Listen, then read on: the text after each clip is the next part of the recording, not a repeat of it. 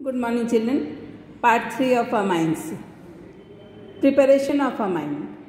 Reduction of nitro compounds will give the amine. कैसे nitro compounds यानी NO2 group जिसमें लगा होगा बेटा nitro compounds are reduce to amines by passing the hydrogen gas in presence of finely divided platinum nickel और palladium platinum nickel और palladium finally divided में तुमने पढ़ लिया अभी एडजॉर्प्शन लेसन में कि फाइनली डिवाइडेड होने से क्या होता है? एड्जॉर्प्शन अच्छा होता है। Therefore finely divided powders are use also by reduction with metals in acidic medium be amines are produced nitro alkanes can be similarly reduced to corresponding alkane amines let see the examples here like if I write nitrobenzene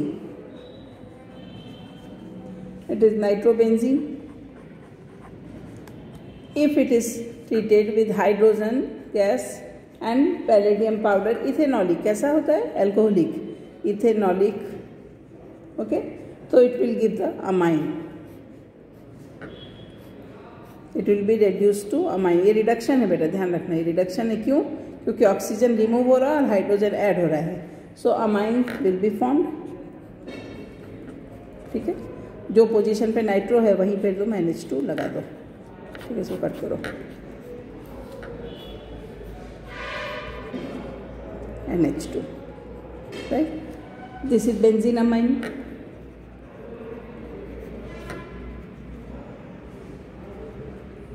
this is nitrobenzene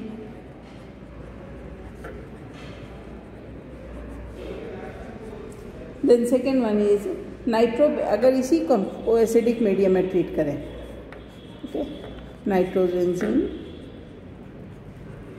then as I have written here you show reduction with metal in acidic medium तो metal कौन सा लिया? S N ten plus H C L metal in acidic medium और iron and S C L can also be taken ये याद रखना है हमें, सारे कोई भी मेटल नहीं लिख देना है। So S N plus S C L और F E plus S C L it will give us benzenamine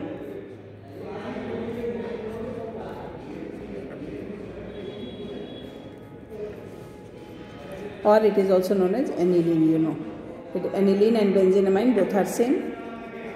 Aniline or benzenamine correct? Next is now we have discussed two methods for reduction with metal and acidic medium या acid in which Fe and HCl is more preferred. Why it is preferred? Because FeCl2 is formed which is hydrolyzed to release the HCl during the reaction. So only a small amount of HCl is required for the reaction. You understood? FeCl2 banega or when it will be hydrolyzed then again after hydrolysis HCl will be produced. So only a small amount of HCl is needed. So it is more preferred. Yeah, preferred. Preferred meaning ही होता है more preferred. Right? Next is ammonolysis of alkyl halide when a nucleophile is added, nucleophile यानी कैसा होगा बेटा? ध्यान में आपको? न्यूक्लियस के पास कौन जाएगा? नेगेटिव चार्ज आयन और atom so when a nucleophile is added to alkyl और benzyl halide carbon hydrogen bond is easily cleaved you see N H three plus R X ये बॉन्ड इजीली क्लीव्ड हो जाएगा. So it will be R N H three and X okay X के ऊपर minus charge है nitrogen के ऊपर plus charge so it is known as now it will react with this nucleophile this is known as substituted ammonium salt to see carefully children फिर से read करती हूँ.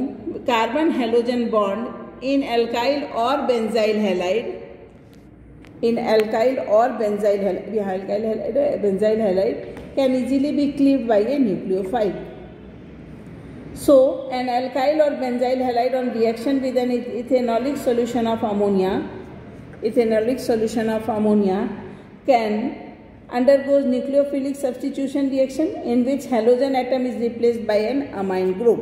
So, halogen hat gaya, X is replaced by an amine group, right? Then comes this, when this halogen atom is replaced by NH2, This process of cleavage of CX bond by ammonia molecule is known as ammonolysis. because of ammonia, if cleavage is there, so it is known as ammonolysis. Because of ammonia, if cleavage of RX bond is there यानी carbon और C के X के बीच का bond break होता है that is actually known as ammonolysis. So we can see the example. One uh, this reaction, the primary amine thus often behave as a nucleophile. अब ये प्राइमरी एमाइन बन गया। तो when primary amine is formed that is N H two primary amine क्या होगा? N H two so this primary amine this behave as a nucleophile and it will further react with alkyl halide so let us see the example R N H two ये primary amine one degree it will react with R X alkyl halide it will form two degree so दूसरा R भी join हो गया और एक H और remove हो गया. You see N H two में से एक और एच रिमूव हो गया. So R two N H then again it will react with R X that is alkyl halide so it will form R three N यानी तीनों hydrogen atom replace हो गए अमोनिया में से. तो N only will be left याद आया सबको? Three degree amine when again it is treated with R X it will give us R four N X This is known as quaternary ammonium salt. Quaternary ammonium salt. ठीक है so in this way only thing was there कि R N H two कैसे बना, उसको formation हमें पढ़ना है कि अमोनिया से अमोनोलिसिस रिएक्शन हुआ in which R X was equally cleaved and then when RNH2 that is 1 degree amine is formed it will go with the reaction with the alkyl halide and finally after each step it will form quaternary ammonium salt that is known as R4N plus X minus where N is nitrogen R is alkyl group, same alkyl group and X is halogen. This free amine can be obtained from the ammonium salt by treatment with a strong base अब वापस से हमें amine find करना है। तो क्या करेंगे? R N H C X plus N A O H will give us R N H two amine plus H two O plus N A plus X minus you see carefully Na plus X minus is separated. You see carefully the reaction. RNH3X plus NaOH. Basic medium में treat किया तो it will give us R NH2 एक hydrogen and this H2OH will form H2O and Na and X will form Na plus X minus. Yeah, NaX. Ammonolysis has the disadvantage of yielding a mixture of primary, secondary and tertiary amine. All the three amines, all the three amines that is 1 degree, 2 degree and 3 degree amines are produced together या yielded together together ये one degree है बेटा P नहीं यहाँ together in ammonolysis process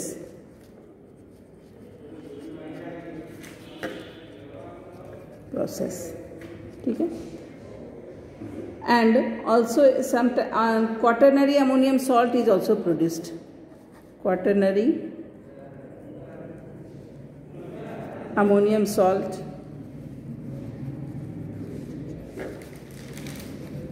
is also produced.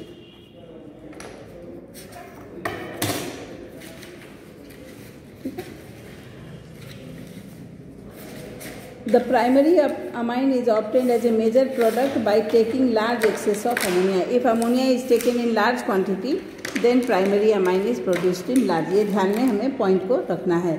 And order of reactivity of halide with amine is HI then iodine, then HBr, then HCl और HF तो हम नहीं लेते हैं fluorine is extra reactive so HI then HBr then HCl they will react this is the reaction series of the halogen या hydrogen halides ठीक है so you re, uh, read the uh, reactions and learn them ठीक है then we will solve the question given in example 13.1 reaction of ethanolic ammonia with C two H five C L वहाँ पर हमने C S three C L का देखा या कोई भी एल्काइल क्लोराइड ले लो यहाँ पे इथाइल क्लोराइड या क्लोरोइथेन ठीक है?